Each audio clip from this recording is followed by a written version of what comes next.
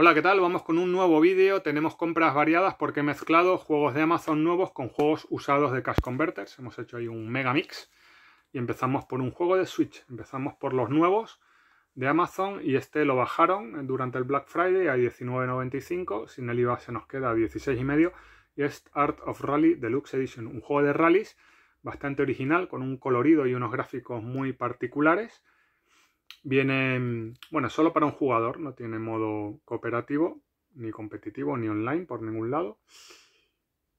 Y viene en inglés, eh, castellano y francés. Ahí veis las tres screenshots para que veáis más o menos cómo es. También por la portada os hacéis un poco idea. Dice Art of Rally te permite experimentar la época dorada del mundo de los rallies en una estilizada experiencia. Compite por todo el mundo en etapas llenas de color y consigue el primer puesto en los eventos diarios y semanales. Conseguirás dominar el arte del rally, Drive Legendary Cars in a Colorful World. Juego muy interesante, Art of Rally. Vamos con Play 4 de esta saga, por así llamarla, porque tiene dos juegos que se llaman Remodered. Este es el primero, que se llama Tormented Fathers, Padres Atormentados, como yo mismo. Y la segunda son juegos que no se ven mucho, eh, compré para Switch el pack doble, que venían los dos, eh, versión japonesa, y en Amazon Japón compré el segundo, que es el Broken Porcelain, versión americana. Y ahora sí, se puso barato, de repente apareció en Amazon la versión europea. A ver, sí, vale, viene multidioma, y este salió por, por menos de 20 euros, algo menos de 20. De Stormwind Games, Darryl Arts, distribuye Soedesco y vamos a leer la parte en castellano. Dice, cuando Rosemary Reed intenta averiguar la historia de una niña desaparecida, se ve envuelta en una pesadilla sin escapatoria. Está fijando porque igual el, otro remover está por aquí. ¿Dónde estás? Remnant. Ah, mira. Es que lo tengo aquí detrás. Acaba de mirar de rejo. Este es el segundo, ¿veis? Que versión americana, que tiene el, calificativo de Ad Mature, adulto. Bueno, pues ya tenemos esta saguita, los dos Remoder. Siempre digo que qué bueno tener los juegos por orden alfabético. Vamos con tres de Play 5 y yo creo que son tres juegos, cada uno en su estilo, muy interesantes. Empezamos por uno muy conocido porque ya se ha convertido en un superventas, que es Blasphemous 2, la segunda entrega del juego español de Game Kitchen, que es un Metroidvania basado en la se dice? imaginería, imaginería de la Semana Santa, ¿verdad? Y el tema católico. La penitencia nunca termina. Viene también en portugués y en italiano. El penitente se despierta una vez más para librar una lucha sin fin contra el milagro. En Blasphemous 2, sumérgete en un peligroso nuevo mundo plagado de misterios y secretos que desentrañar y ábrete paso entre enemigos monstruosos que se interponen en en tu objetivo de terminar el ciclo de una vez por todas. Vale, este yo ya lo había pillado en Switch, pero en el Black Friday lo bajaron en Play 5 y se me quedaba creo que también en torno a 20 y decidí pillarlo porque el 1 ahora mismo es un juego difícil de ver y dijo, y aunque este haya vendido más, digo, bueno, por si acaso, un juego que merece la pena tener. Y eso sí, también tened en cuenta que hay anunciadas unas ediciones coleccionistas, que no han salido cuando salió el juego normal, pero que van a salir no sé si han salido ya o en breve para que también el que lo quiera tener en cuenta, pues que tenga esa información. Aquí distribuye los amigos de, Team 70, una compañía que yo le tengo bastante cariñín. Y ahora vamos con un juego de Pix and Love, Vengeful Guardian Moonrider, otro que bajó bastante. Y este también es un juego de, acción, run and gun, frenetic action, worthy of the best 16-bit arcade games. Acción frenética, digna de los mejores juegos de 16 bits. Supera 8 niveles explosivos, descubre sus secretos y enfréntate a muchos enemigos. Fijaros que aunque sean engendros mecánicos, ¿no? Samurai mecánicos, esta captura de pantalla recuerda horrores, por ejemplo, a Ghosts Goblins, ¿no? Es que es súper parecido. Esto sería la gárgola, aquí el hombre, pues, saltando.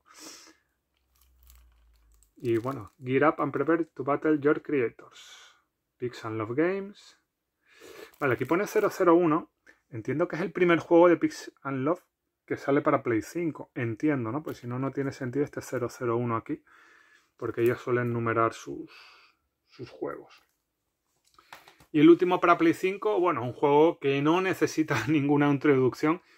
Y no estaba en mis planes pillarlo porque es un juego, a ver si sabéis cuál es, que cuando lo, lo jugué en su momento lo pasé, me lo pasé en la One, tuve que no me acuerdo por qué, al principio del juego dejé de jugar un tiempo por X motivo y luego me costó retomarlo, pero que me costó horror y luego ya me enganché otra vez a la mecánica del juego y obviamente lo disfruté mucho, pero tuve ahí un, poco de, problema a la hora de retomarlo porque son juegos que, si no los juegas de continuo pierdes el hilo y, luego cuesta un poco.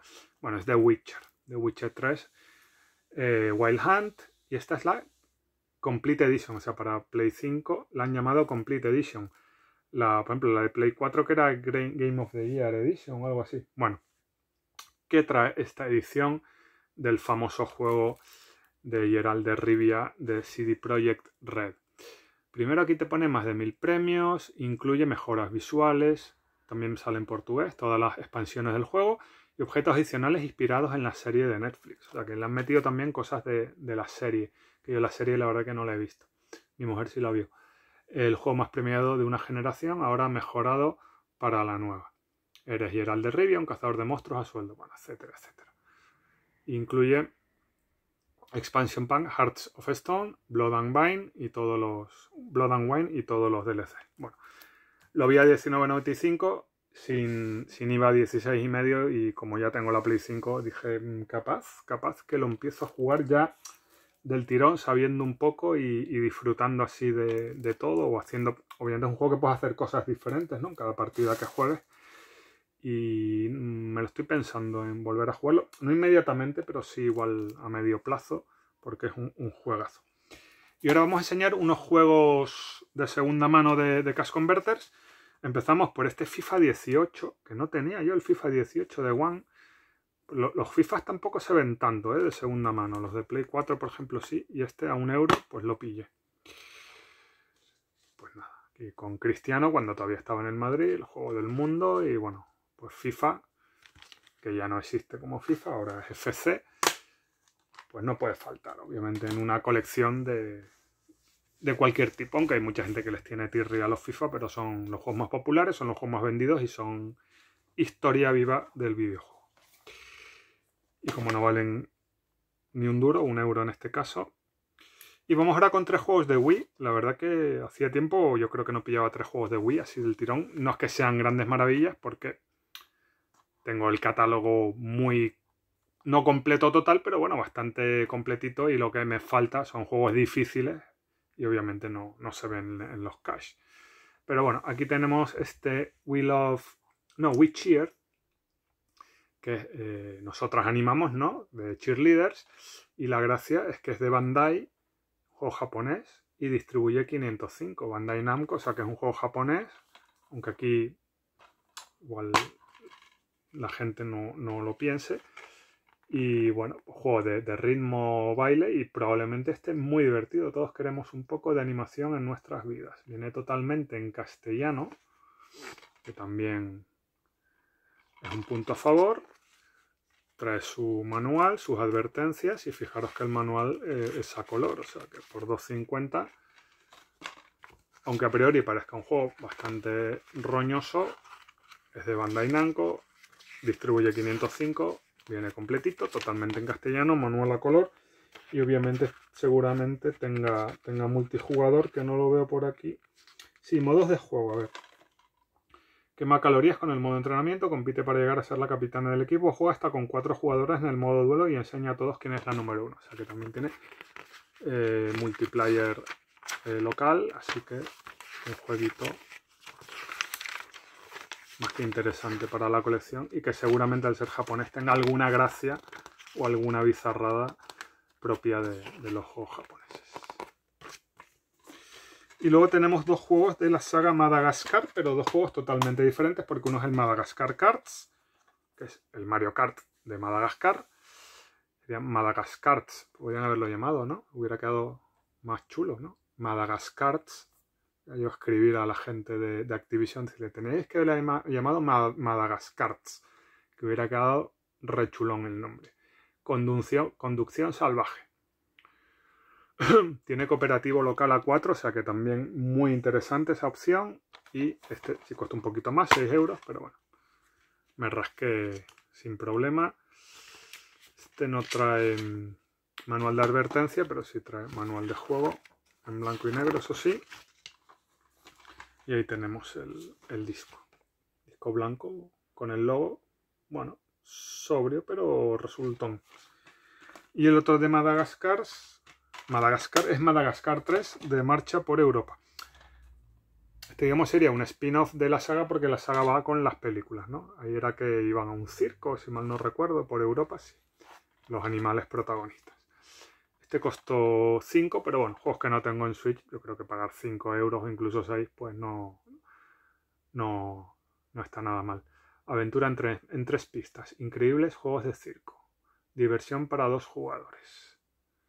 Bueno, pues esto parece que son pruebas de circo o minijuegos. Y este es de D3 Publisher. Y también aquí pone Bandai Namco. Y en el disco solo veo que pone D3 Publisher y bueno, y, DreamWorks, que son los, propietarios de, los derechos de, las películas, claro. Viene esto a lo de la peli y un manual tochete en blanco y negro, a ver si es que es multidioma. Sí, vale, viene italiano. Ah, es multidioma. Vale, esta es la parte español.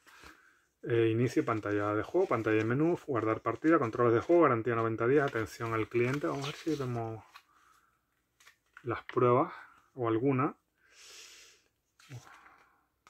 No. Misiones, perfiles, extras. Bueno, la verdad que la parte de castellano es muy... Claro, es que vienen todos los idiomas, viene en finlandés, en, portugués. Bueno, ya hemos terminado el vídeo entonces, vamos a repasar estas comprillas. Teníamos de segunda mano, en Cash Converter, tres juegos de la Wii. Los dos de Madagascar, el 3 de Marcha por Europa, el Cards y el Wii Cheer. Y luego de, de la One el FIFA 18 y ya sí los juegos nuevos, muy interesantes todos. 3 de Play 5, dos digamos indies, el Blasphemous 2, el Vengeful Moonrider y un triple A como es el de Witcher 3, Wild Hunt, edición complete, complete edition. Teníamos de Play 4, pues para completar la saga Remoder, el primero, que no, no lo tenía todavía. Tormented Fathers y el juego de, de la Switch de conducción indie con un estilo muy muy particular, muy interesante, Art of Rally. Pues ya hemos terminado, espero que os haya gustado el vídeo, muchísimas gracias por verme, nos vemos mañana aquí en Randy, que no falte nadie.